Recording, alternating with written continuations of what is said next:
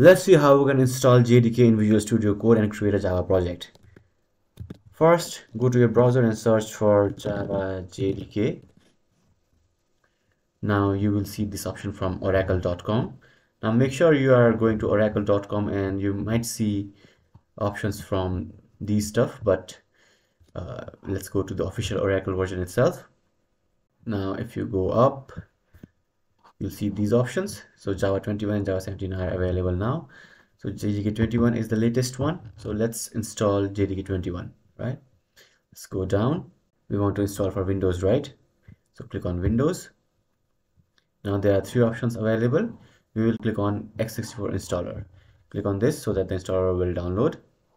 The installer has downloaded. Now click on open file and your installer will open if you see a pop-up dialog that says do you want this application to install or not? just click on allow. And now as you can see we have our installation wizard. Click on next.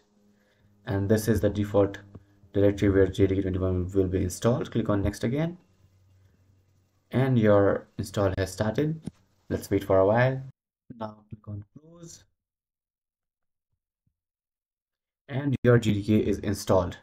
So now let's go to Visual Studio Code and let's install an extension that will help us to allow that will help us to create Java projects so search for Java extension. Now you will see this extension from Microsoft. Make sure you select the official one from Microsoft. The name is extension pack for Java. Now click on install. So once the installation is complete, if you go to your Explorer or hit the shortcut Control plus Shift plus E, you will see this new option, Create Java Project. Click on it. And we will create with no build tools. Now let's create a folder for our java project and let's call it my java project. Select project location and let's give this a name. So what is our application called? Let's call it my app itself nothing else and as you can see visual studio will create these things for you automatically. So it will create a source folder it will create a library folder. So you put all your libraries inside your library folder. Your main code is inside your source folder.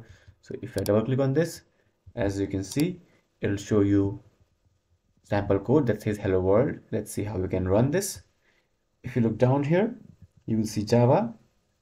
Now to run this just click on run and click on run without debugging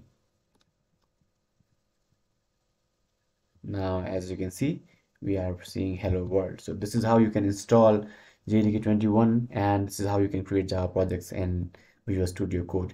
If you have any questions, let me know in the comments below.